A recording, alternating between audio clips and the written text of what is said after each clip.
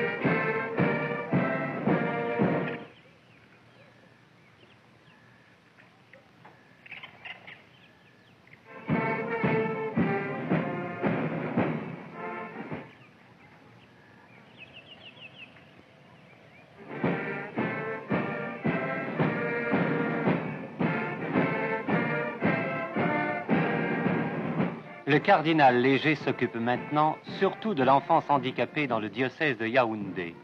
L'archevêque du lieu est monseigneur Jean Zoa.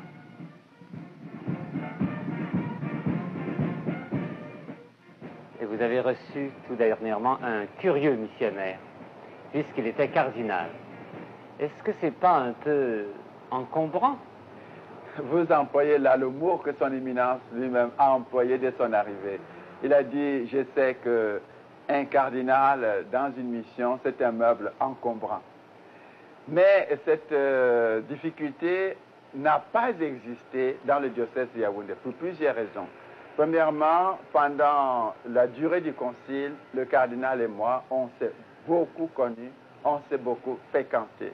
Et malgré la différence, les différences qu'il y avait entre lui et moi, lui canadien, moi africain, lui blanc, moi noir, lui euh, cardinal, archevêque depuis je ne sais pas combien de temps, moi venant à peine d'être nommé, nous sommes arrivés à une grande amitié. Et vous savez, une des lois de l'amitié, c'est de rendre les êtres égaux. Le cardinal et moi, on s'est retrouvés vraiment en amis. Et ce n'est pas le cardinal que j'ai reçu, mais c'était le cardinal léger. D'abord, ça, ça nous a beaucoup aidé. Il y a Monseigneur Zoa qui était l'ami du cardinal, mais les fidèles de Yaoundé, est-ce qu'ils ont facilement compris la signification de ce geste et comment l'ont-ils reçu? Quand j'ai su que son éminence allait venir chez moi, j'ai immédiatement rassemblé clergé missionnaire, clergé local et quelques laïcs. Leur dit voilà, le cardinal je veux venir chez nous ici. C'est un ami à moi, mais je ne veux pas qu'il soit mon hôte. Si vous êtes contre, il ne vient pas. Qu'est-ce que vous me dites? Ça a été une adhésion du côté africain immédiate et totale et enthousiaste. Et si vous voyez les photos de son arrivée, c'était vraiment tout le diocèse qui l'accueillait. Mais pour notre première question, je voulais quand même terminer. Il n'y a pas eu que le fait que nous étions amis. Il y a eu le fait aussi, j'allais dire, de la lucidité et de la vertu du cardinal. Je vous assure, c'était un homme d'une délicatesse que vous n'imaginez pas. Si je pouvais avoir des vicaires aussi, aussi docile, aussi délicat, le cardinal ne, remet pas le petit doigt sans me demander l'autorisation. Vraiment, moi, j'ai été très édifié par ça. C'est bien qu'il n'y a jamais eu de gêne ici. Malgré toutes ces vertus du cardinal, il est quand même prince de l'Église. Et est-ce qu'il y avait des difficultés protocolaires? Oh non, il n'y a pas de, euh, il n'y a pas de difficultés protocolaires. Parce que premièrement, en Afrique, au-delà de tout ce que vous avez là-bas comme protocole, il y a l'âge il y a l'âge qui résout tout. Or, le cardinal accomplit la définition de l'homme qu'il faut respecter en Afrique, indépendamment du fait qu'il est cardinal. Son âge l'opposait. Comprenez, c'est très important cela.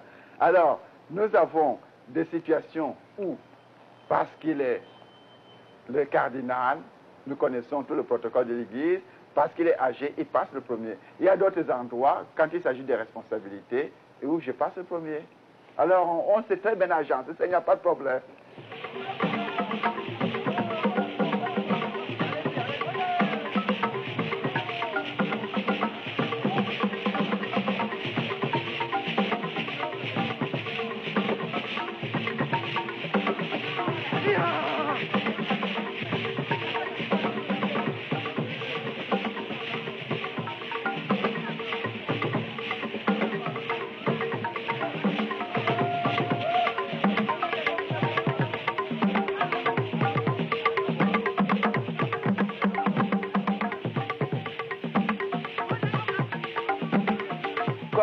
Africain, je vous assure, c'est admirable de trouver des gens qui manquent de tout, mais qui chantent, qui dansent.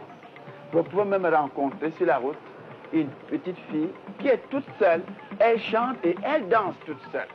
C'est donc, c'est comme une source qui jaillit de l'être même. Ce n'est pas une joie qui vient de, de conditions extérieures. C'est admirable. Et quand vous voyez des gens d'un certain âge mourir Vraiment, c'est comme euh, euh, un départ pour aller rencontrer des gens qu'on n'a pas vus depuis longtemps. Mais une sérénité, une paix. Et ils disent adieu à tout le monde, même sans amertume. C'est extraordinaire. Je crois que c'est une des grandes richesses que, dont l'Afrique est témoin aujourd'hui. Une richesse que je ne voudrais pas que l'Afrique s'approprie en disant une richesse africaine, mais c'est une richesse humaine dont l'Afrique, dans son évolution, est témoin et qu'elle doit garder comme un bien appartenant à tout le monde pour le partager avec ceux qui, par la technique, se sont éloignés de cette joie, mais qui peuvent contribuer justement à notre libération. Ainsi, il y aura le donner et le recevoir. Vous savez qu'au départ, euh, je voulais m'occuper tout spécialement des lépreux et je crois que je suis demeuré fidèle à cette euh, orientation puisque depuis que je suis ici, euh, euh, nous avons construit, je dis nous, c'est-à-dire l'association et moi, nous avons construit une dizaine de dispensaires pour les lépreux. vous avez assisté hier à cette fête à Hôtelier. Et vous voyez que la population est heureuse lorsque nous leur offrons ces moyens matériels.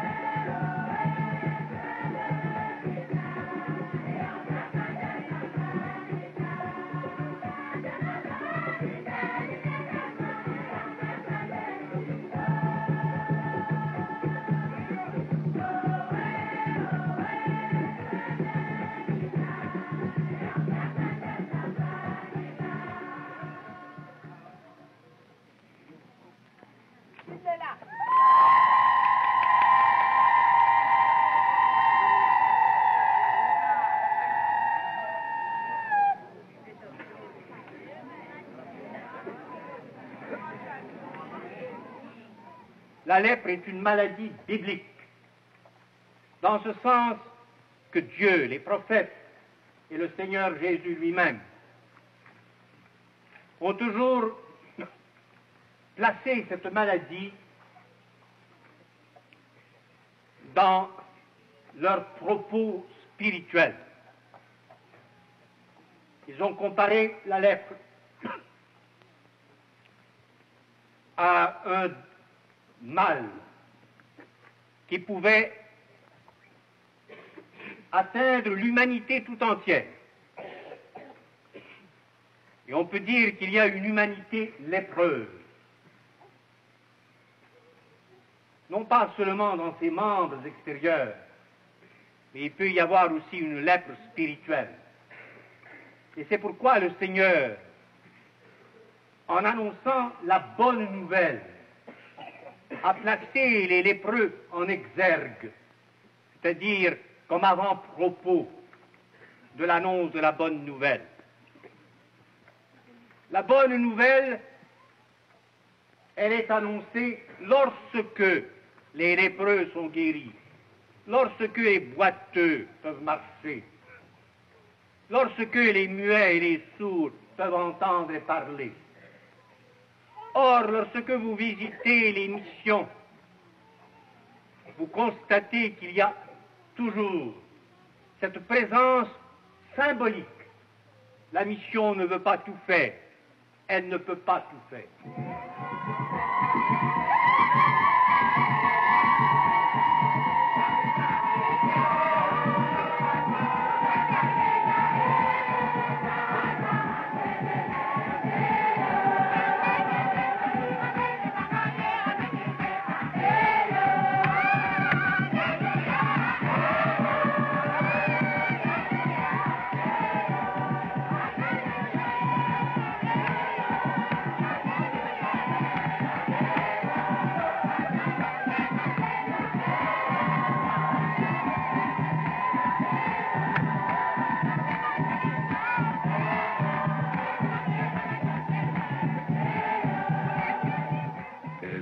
Nous constatons que notre Seigneur s'est penché très souvent sur ce problème de la lèpre et qu'il a guéri un assez grand nombre de lépreux.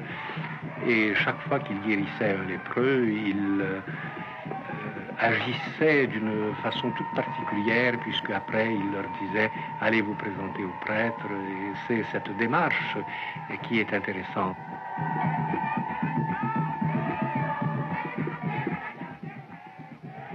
Nous ne devons pas euh, tenter la providence et demander des miracles. Nous sommes obligés de nous plier aux exigences de euh, la science. Mais nous pouvons dire aux lépreux, venez.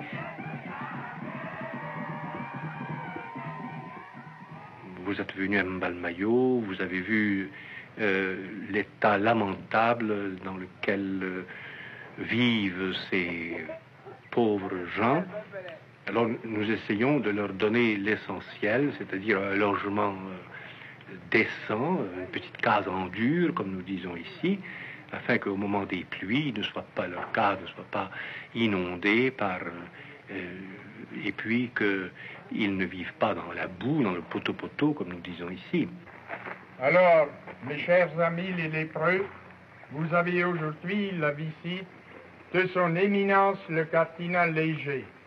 C'est lui le grand bienfaiteur de cette léproserie et qui a bien voulu s'occuper de vous parce que il a su qu'avant vous étiez malheureux. Et nous voyons déjà des réalisations. Cette citerne que nous venons, que la mission vient de, euh, construire, c'est grâce à son œuvre qui s'appelle Famé Perio.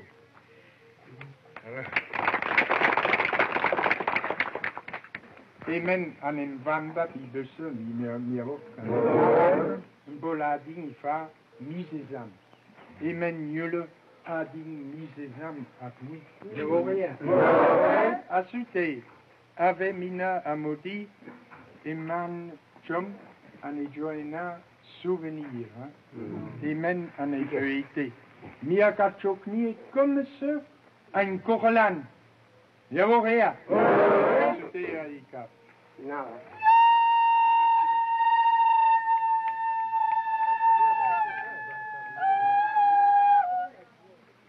son éminence, le cardinal Léger, c'est vraiment le père, le père des lépreux. Et pour vous laisser, mes chers amis, un souvenir de son passage d'aujourd'hui, il vous donne une image.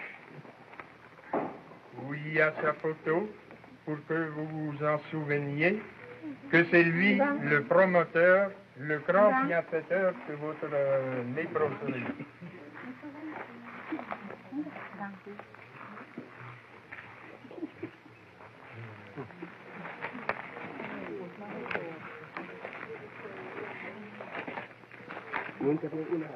Vous découvrez là euh, une des raisons profondes qui m'ont euh, incité à quitter cette richesse pour venir dans le tiers-monde. Euh, vous dites, il y a 15 jours que nous sommes là et nous découvrons cette différence, nous découvrons la profondeur du précipice qui sépare ces deux blocs de l'humanité. D'un côté, 600 millions d'hommes qui possèdent la richesse et de l'autre côté, près de 3 milliards de mains qui ne possèdent pas la richesse.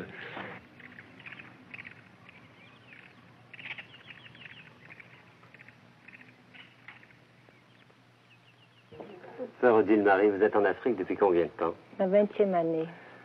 Pas 20 ans dans les léproseries quand même. Trois ans léproseries. Est-ce qu'elle était dans l'état actuel quand vous êtes arrivé ici? Oh non, les cases s'effondraient, les toits également, l'eau traversait les toits. Ils marchaient euh, sur leurs genoux dans, sur, dans, les cendres et la boue, avec des plaies, plein les genoux et plein les pieds. Alors comment vous êtes arrivé ici? Qui vous a dit d'abord qu'il y avait des lépreux ici? Il y avait déjà des lépreux depuis longtemps? Depuis 40 à 50 ans, ils sont ici, mais la mission est là depuis 1950, c'est-à-dire 30 ans. 1950, 30 ans, la mission est ici, et les sœurs venaient visiter de temps en temps les lépreux, mais à ce moment-là, il y avait un infirmier, donc Joseph, Joseph. Ah, il était, il était infirmier. Ou un gâteau infirmier, au, Coba. Ah bon, bon. Et les, les religieuses venaient visiter Venaient visiter, sœur Marie-Léone, sœur Marie-Christine. On leur apportait on leur apportait des vêtements et regardez comme ils étaient malheureux aussi, les, les visiter pour dire qu'ils n'étaient pas seuls ici, que d'autres pensaient à eux. Mais l'infirmier étant là, on ne venait pas pour aider pour les pansements, du fait que le gouvernement donnait à l'infirmier ce qu'il fallait pour les soigner. Dans ce village presque désespéré tel que vous l'avez décrit tout à l'heure, quand est-ce que le cardinal Léger est entré en action? Je suis arrivée ici au mois de décembre 68 et j'ai vu qu'il y avait beaucoup à faire. J'ai essayé de faire quelque chose avec des, des morceaux de chiffon, faire les pansements avec des vieux morceaux de chiffon, mais du fait qu'il revenait plein de boue et, de cendres et de saleté, il m'était impossible de travailler. J'ai pensé lancer un appel à l'étranger et cet appel est resté sans réponse. C'est là que j'apprenais par une sœur de notre congrégation que le cardinal venait pour les lépreux. Et on me dit, envoyez votre appel au cardinal. J'envoie l'appel au cardinal en fin janvier, en fin janvier 69, et au mois de février, huit jours après, il était là, euh, il était là, il est arrivé vers 11 heures le matin.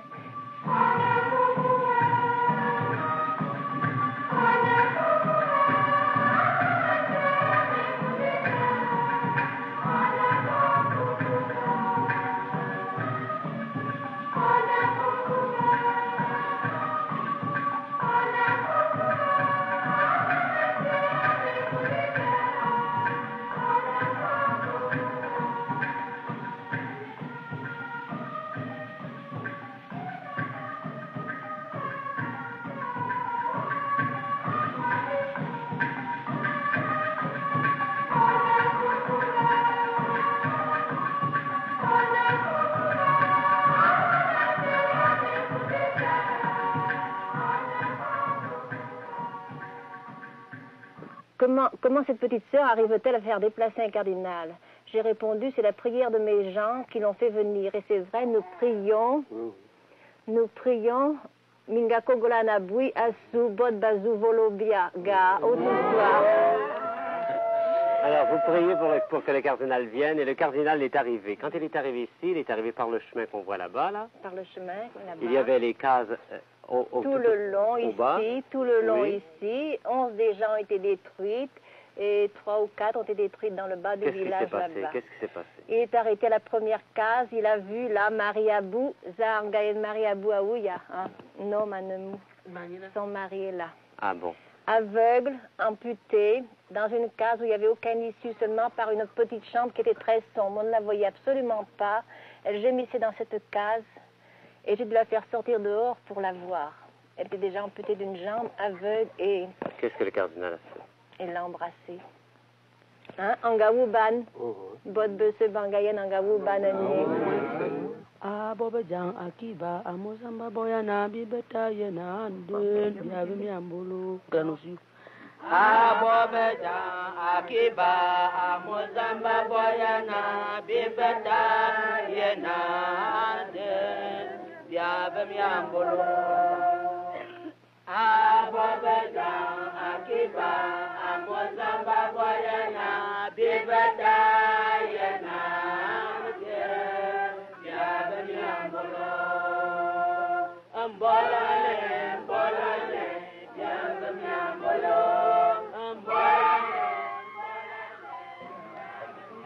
Le cardinal Léger d'abord il a donné du riz, il a donné à manger, il a permis de construire certaines cases.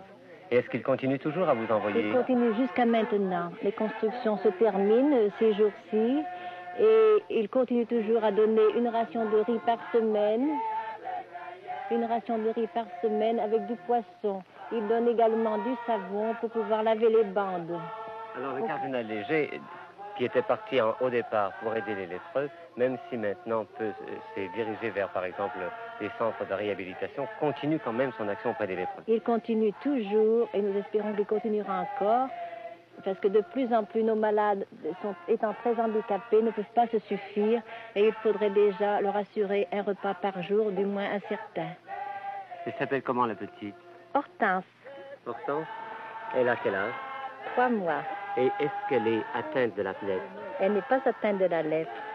Grâce euh, au traitement que ses parents prennent, et elle-même va être vaccinée du BCG et n'était pas assez forte jusqu'à maintenant, mais elle pèse ses 4 kilos. Elle pourrait être vaccinée du, BCG ces jours-ci, qui le garantira également de la lèpre. Vous êtes vous conseiller ici, monsieur, hein Oui. C'est-à-dire que vous aidez la sœur dans la gérance du village C'est ça. Et le cardinal Léger, vous vous en souvenez Beaucoup même, beaucoup même. Je pense que vous m'avez demandé tout à l'heure, vous avez dit après que la sœur ait parlé, je voudrais dire quelques mots, je voudrais remercier. Nous voudrions vous sentir d'abord euh, dans notre euh, sens, euh, Dans votre langue en notre langue. C'est-à-dire, nous remercions d'abord le bon Dieu parce qu'il nous envoie, n'est-ce pas, les hommes qui nous aident. Premièrement, comme le cardinal. Deuxièmement, ainsi que notre sœur. Le cardinal Léger, c'est d'abord un cœur. C'est d'abord une âme qui vient écouter. Ça, ça, ce sont, s'il pouvait se donner une devise, c'est celle-là. Je suis venu écouter l'Afrique, apprendre de l'Afrique. Et il considère euh, ce qu'il apporte comme un corollaire de cette découverte de l'Afrique. Et quand le cardinal Léger, monseigneur écoute, qu'est-ce qu'il entend? Qu'est-ce que vous avez à dire à l'Occident et à l'occidental qu'il est? Ce que le cardinal entend, c'est cette humanité qu'il découvre partout. Des gens qui sont proches de la nature, des gens qui attachent une grande importance aux relations interpersonnelles, la parenté, l'amitié, la- l'accueil, la générosité, le sens religieux, le sens de la vie. C'est tout cela que le cardinal entend et quand il voit tout cela menacé par l'asservissement à la nature, par la domination de la nature, par les peurs qu'il y a, par les, angoisses que donnent les maladies, la faim, la soif, en ce moment-là, le cardinal voudrait tout donner. Je vis avec lui depuis quatre ans, c'est ce qu'on sent chez lui, et je pense que pour, à nos yeux, il est un peu le type de la compréhension que nous voudrions qu'elle soit faite au niveau de tout le monde occidental. Il faut d'abord la rencontre entre personnes, l'aide vient après. Et si l'aide vient avant, elle risque d'être un alibi pour ne pas faire de rencontres interpersonnelles. Je crois que c'est cette euh, mystique-là que nous sommes en train de vivre dans, dans l'expérience du cardinal parmi nous. J'essaie de répondre chaque jour aux appels que j'entends. Euh, beaucoup d'appels ici en Afrique sont des SOS. euh, venez à notre secours. Vous l'avez constaté en visitant les léproseries des Bolova et de Mbalmayo. Vous le voyez ici, euh, devant ce petit dispensaire. Dès que nous organisons, dès que nous créons une œuvre, au départ, nous, ne savions pas que cela pouvait avoir euh, une euh, importance aussi considérable.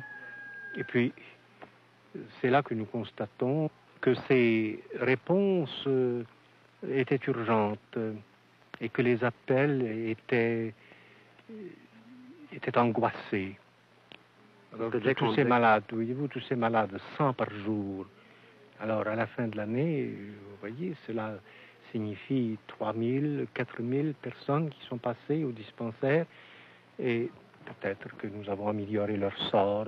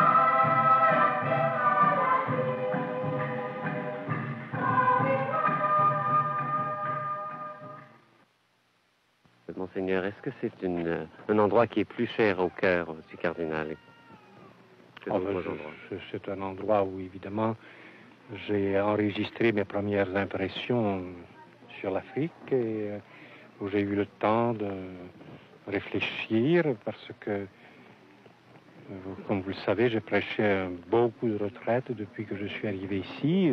J'en ai même prêché dans d'autres pays, au Dahomey. Alors, euh, j'ai donc dû me remettre à l'étude, me recycler, comme on dit aujourd'hui. Et euh, ensuite, j'ai eu une immense correspondance. Et comme je n'ai plus de secrétaire, euh, j'ai écrit des centaines et des centaines de lettres, ce que je ne puis pas faire en ce moment parce que je suis trop pris par l'organisation du centre des handicapés. Justement, euh, certains se demandent, puisque vous avez quitté un endroit où il y avait un dispensaire, vous avez même quitté euh, comme lieu de, de, résidence les léproseries, certains se demandent si c'est que vous choyez plus particulièrement cette dernière œuvre qui est celle des enfants handicapés. Je ne sais pas que je... Il ne s'agit pas de choix, il s'agit plutôt de... Euh, d'obligation, il s'agit de responsabilité. Le centre est une œuvre très lourde et j'ai cru que je devais m'installer au cœur de ce centre, de cette œuvre pendant quelque temps. Le cardinal était venu pour les lépreux. Et on se demande comment, au lieu d'inaugurer une grande léproserie, il inaugure un centre de rééducation pour enfants handicapés. C'est que quand il est arrivé, il a voulu être à l'écoute des besoins de la communauté nationale et des églises locales.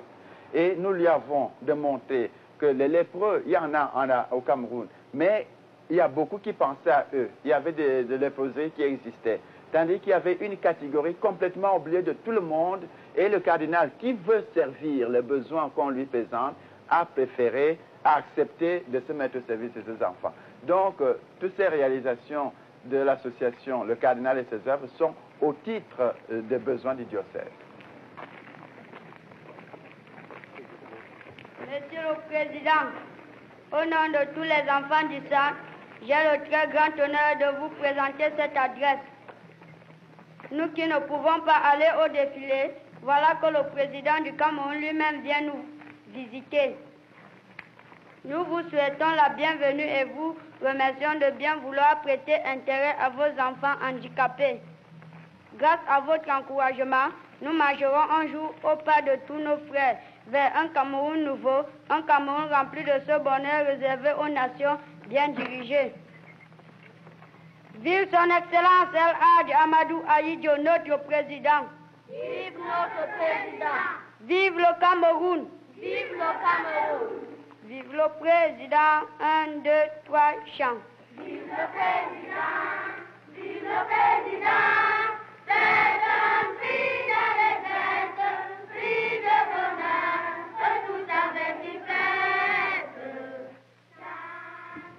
après m'être penché sur ce problème de la lèpre, j'ai découvert la présence de nombreux enfants qui étaient handicapés par euh, ce mal terrible qu'est la poliomyélite.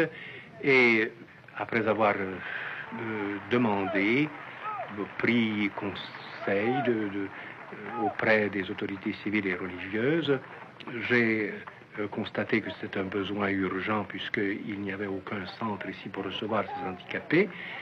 Euh, nous avons une liste de près de 200 enfants qui attendent à la porte du centre.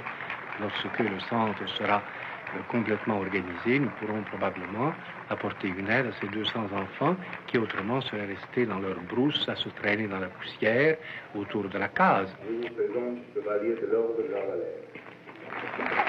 Le gouvernement camerounais a tenu à décorer, comme il l'avait fait la veille pour le cardinal Léger lui-même, M. André Verrette, directeur général de la Corporation des œuvres du cardinal Léger, et le docteur Coupry, religieuse française, directrice médicale du centre de rééducation. Au nom du président de la République et en vertu des pouvoirs qui nous sont conférés, nous vous faisons chevalier de l'ordre de la valeur.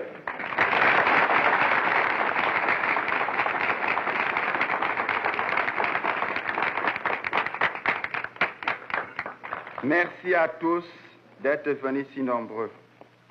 Monsieur le vice-président de la République, Monsieur le président, Monsieur le Premier ministre du Cameroun oriental, Monsieur le cardinal, Excellence, Monseigneur Ganting, envoyé spécial du Saint-Père et porteur d'un très beau message du pape à l'adresse de son, de- de son éminence le cardinal, Excellence, Messieurs les ambassadeurs, Messieurs les ministres du Canada et du Québec,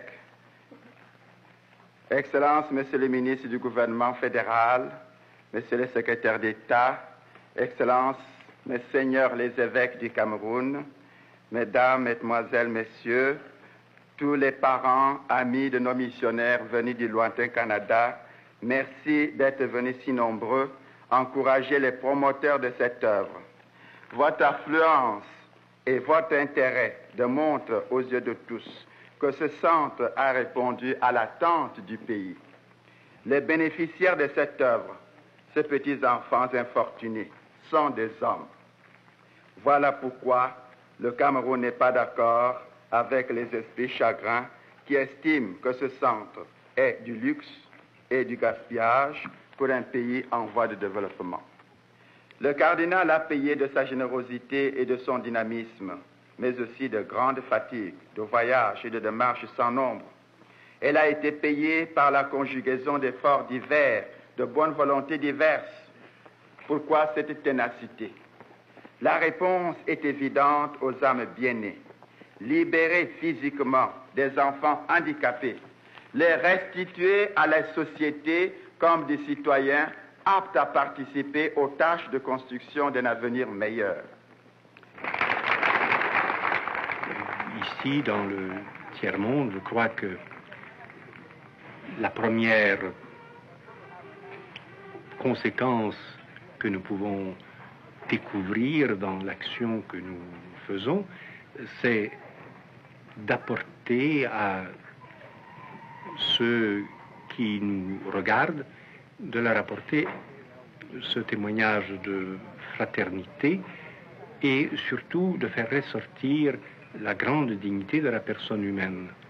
Alors que dans certains pays, la personne humaine est brimée et que le développement purement technique peut euh, opprimer l'homme, nous essayons ici de nous pencher sur des êtres euh, non productifs, marginaux, et euh, par cette action, nous invitons tous ceux qui nous regardent à aller plus loin que les apparences dans ces corps fragiles, dans ces membres tordus, dans ces membres rongés par la lèpre. Il y a une dignité qui est voilée dans ces handicapés et aussi dans ces retardés mentaux.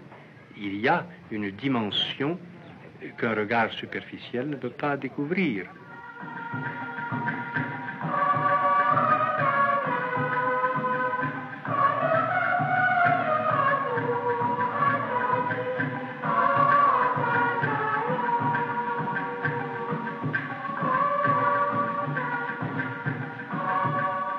Chaque matin, deux autobus transportent au centre les enfants des villages environnants qui, après leur traitement pendant toute la journée, retourneront le soir dans leur famille. C'est pour ainsi dire la clinique externe du centre de rééducation de Yaoundé que dirige le docteur Koupri.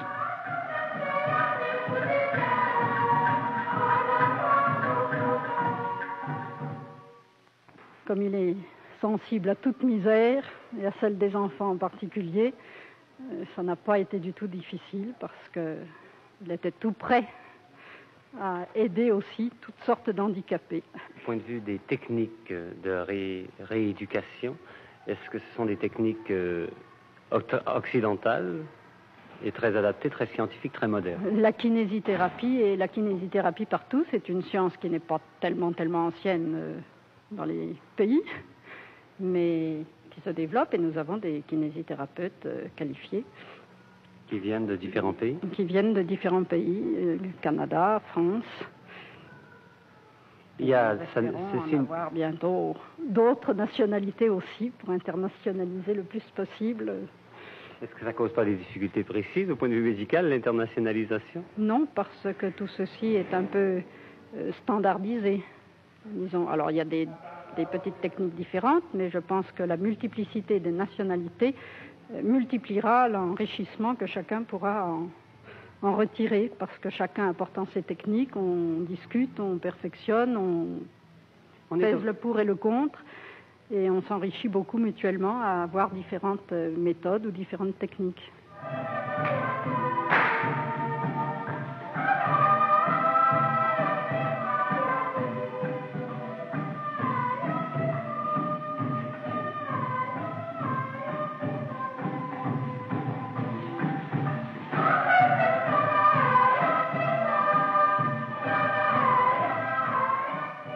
Il y, a, une opinion qui circule souvent, euh, à savoir que les missions catholiques, c'est fait à base souvent de missionnariat, de volontariat, et que le côté professionnel de temps en temps des soins que l'on prodigue euh, euh, n'est pas toujours d'égale valeur.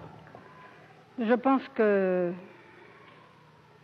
cela a été, mais cela tend de plus en plus à disparaître, puisque dans les missions, vous avez beaucoup de personnel religieux qualifié, et qu'à l'heure actuelle, au Cameroun, vous avez 33% du service de santé ou des hôpitaux ou dispensaires qui sont tenus par des religieux ou religieuses diplômés qualifiés. Comment vous voyez ça, un missionnaire qui vient ici? Je vois ça comme euh, la- l'accomplissement du mandat du Christ, aller de toutes les nations faire des disciples. Alors, il nous semble que tous ceux qui ont été les premiers à bénéficier du message du Christ sont tenus comme par une obligation intérieure de communiquer ce message aux autres.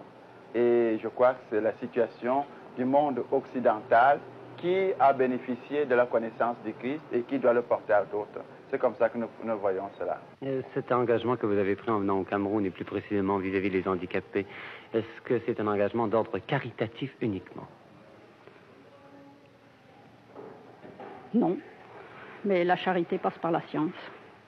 Derrière chez moi, savez-vous ce qu'il y a? Derrière chez moi Savez-vous ce qu'il y a? Non Il y a un bois, le plus joli des bois. Qu'est-ce que vous faites avec tous ces petits-enfants-là surtout? C'est c'est surtout le travail médical qui est important ou c'est l'affection? Oh, les deux. Ah, vous êtes africaine, vous allez nous dire ce qu'ils préfèrent. Est-ce que c'est les traitements qu'ils préfèrent ou c'est quand vous les prenez dans vos bras?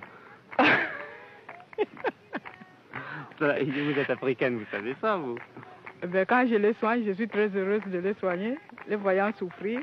Je, Oui. suis, je suis heureuse de leur apporter un secours. Et ça fait en même temps un secours maternel. Quand une maman aime son enfant et que l'enfant est malade, il donne aussi les soins médicaux quand, quand elle peut. Et euh, pour vous, là, est-ce qu'ils vous prennent un peu pour leur maman? Oui, il y a des petits qui me disent maman, maman. Et vous, vous jouez ce rôle-là facilement? Bien sûr.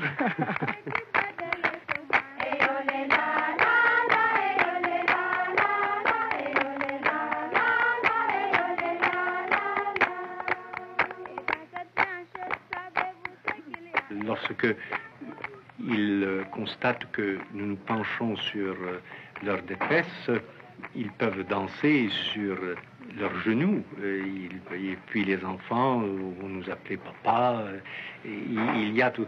je crois que c'est très rare dans des hôpitaux d'handicapés de l'Occident que on entende ce mot père ou papa.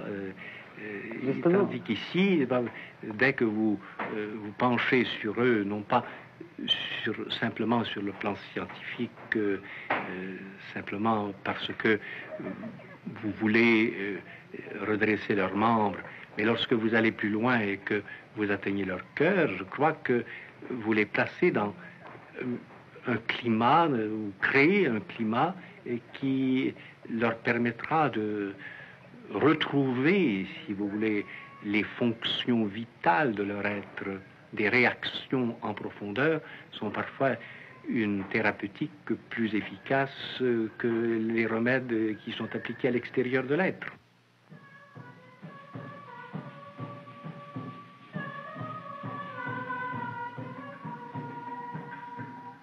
La plus grande difficulté dans le centre, c'est avec les enfants ou entre les adultes? Oh, pas du tout. Pas avec les enfants, sûrement pas. Je pense qu'au point de vue travail, la seule difficulté, puis encore, c'est pas une difficulté, c'est Un inconvénient, c'est le fait que les enfants ne parlent pas français. Alors on doit, en plus de leur enseigner, disons, à lire et à écrire, il faut commencer par leur montrer la langue. J'ai une monitrice dans la classe qui parle Wando et Bassa, qui sont deux des principaux dialectes. J'ai des enfants qui parlent quatre dialectes. hein. Alors, euh, parfois, c'est un peu compliqué, mais les enfants s'entraident, ils sont habitués. Partout dans les écoles officielles, c'est pareil. Ils ont des, euh, enfants, ça va jusqu'à 7 et 8 dialectes dans les mêmes classes. Alors, les enfants s'entraident, ils se traduisent, puis ils comprennent avec les yeux, des fois. Ah, Oui. Monseigneur Zola nous disait ça à tous les Camerounais, qui avaient Oui. une, une intelligence très pénétrante et comprenaient avec leurs yeux. Oui. Et vous leur parlez avec les yeux Oui. Quand je fais des gros yeux, c'est clair que ça va pas. Je vous voyais faire là avec euh, les enfants, il faut pas sortir de du poisson, il faut mettre la peinture à l'intérieur. Et ces pauvres petits, ils ont, ils ont de la difficulté parce que leur membre ne répond pas souvent à tout- à- aux ordres qu'ils donnent. Et, et vous, ça vous tend pas, ça? Au début, oui. Au début, euh, pour moi qui n'avais jamais travaillé avec des enfants infirmes, c'était... euh, disons que j'avais mal au cœur. Chaque fois que j'entrais dans la classe, si un enfant euh, devait se déplacer ou si un enfant bougeait d'une façon que j'avais l'impression qu'il allait tomber à chaque minute, alors ça, ça m'énervait. Est-ce que pour vous, c'est plus important de leur montrer des choses ou de les bercer, de les cajoler, de leur donner des Au début, on les, on les berçait peut-être un peu trop. Moi, je portais un enfant pour aller au tableau, je portais pour aller au lavabo. Euh, J'avais toujours un enfant dans les bras. J'avais toujours l'impression qu'ils allaient tomber aussi. Et puis, euh, ça m'a joué des mauvais tours. Hein? Après quelque temps, ils vous laissent faire bercer, puis drôlement. Puis quand il faut en bercer 10 à la fois, les cannes, les béquilles, c'est de l'accessoire, mais là, c'est moins drôle. Alors il faut vraiment... faut être un petit peu ferme, faut avoir une mesure. Je pense que la première chose, c'est de leur donner de l'affection parce qu'ils sont euh, pas complexés, mais ils sentent qu'ils ont quelque chose de moins que les autres enfants. Alors, euh, si on les aime, je pense que tout le reste, ça ira bien. Leur montrer des choses, c'est important aussi, mais euh, si on les aime d'abord, j'ai l'impression que c'est ça qui compte. Qu'est-ce qu'on fait quand on a passé toute la journée avec des enfants le soir? Qu'est-ce qu'on fait au Cameroun, au centre? Qu'est-ce qu'on fait au centre? Est-ce qu'on sort du centre? On sort du centre, oui. On a chacun, j'imagine, a la possibilité de sortir du centre de son côté. Moi, j'ai moi, j'ai peut-être plus de chance que les autres de ce côté-là. Mais euh, en général. Pourquoi? Aïe. Pourquoi vous avez je vis. Ben, je sais pas, moi. Parce que j'ai un fiancé à Yaoundé. Ah, bon, bon. ben.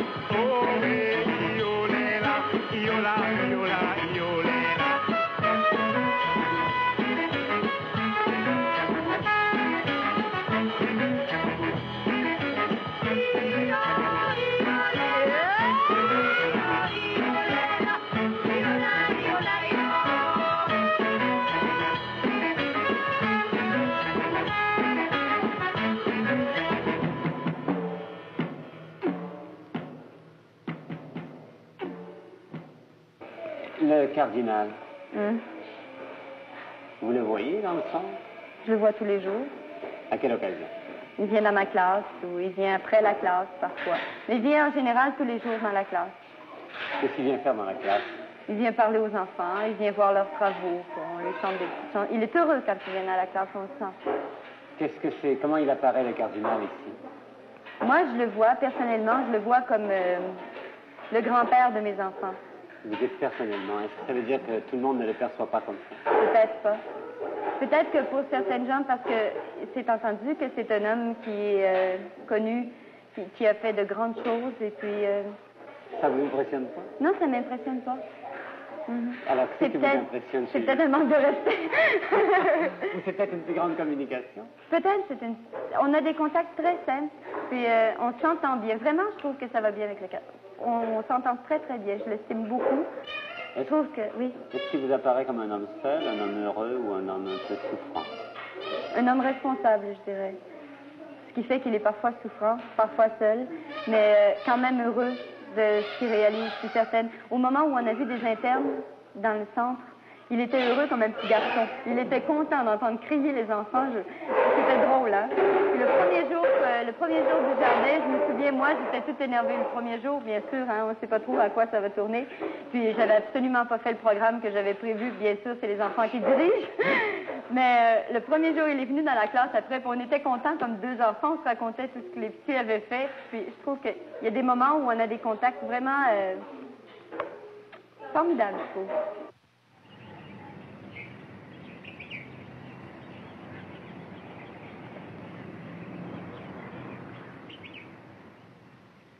Vous avez de grands handicapés qui sont devenus des chefs de nation.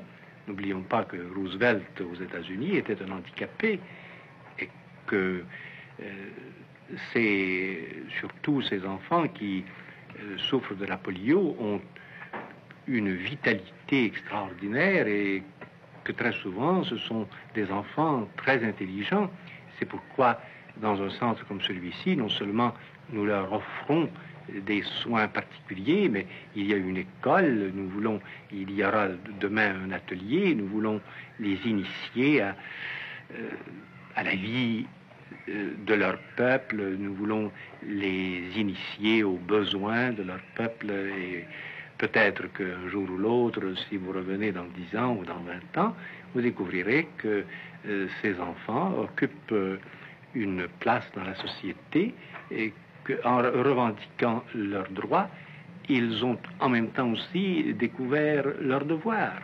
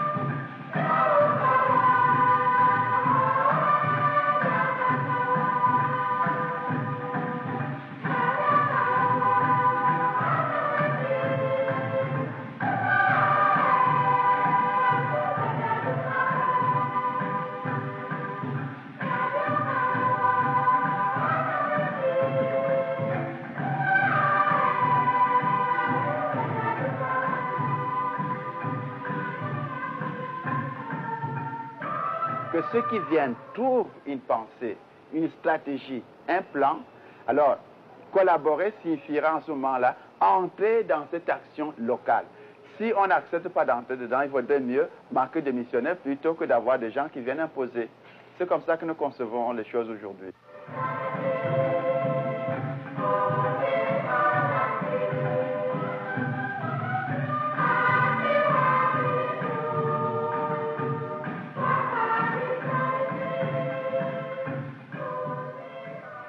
Que si les 600 millions euh, d'hommes de l'Occident euh, qui possèdent la richesse ne se préoccupent pas de ce problème, demain, euh, nous connaîtrons une autre invasion comme l'Occident en a connu dans les premiers siècles de l'ère chrétienne.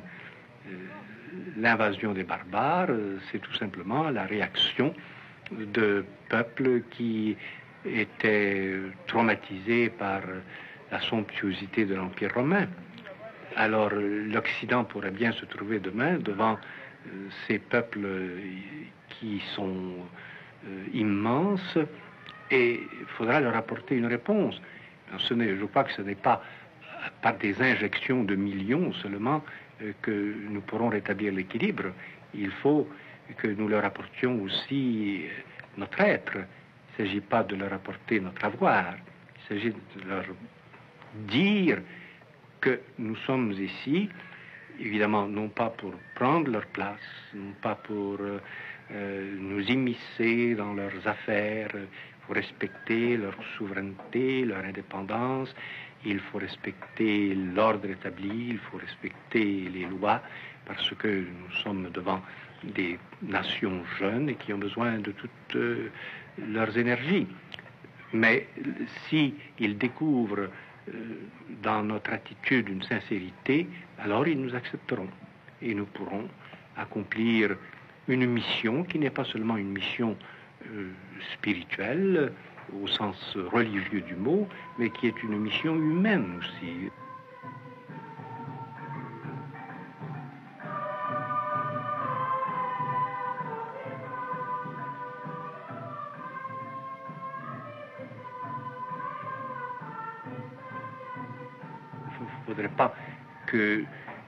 Nous croyions que l'Occident va leur apporter tout le bonheur. Il faut qu'il y ait une transposition. Il faut que nous leur fassions découvrir la dignité de la personne humaine, mais ils l'ont déjà euh, découverte, cette dignité. Euh, ces vieux sages de l'Afrique euh, sont, je crois, nos pédagogues aussi dans ce domaine.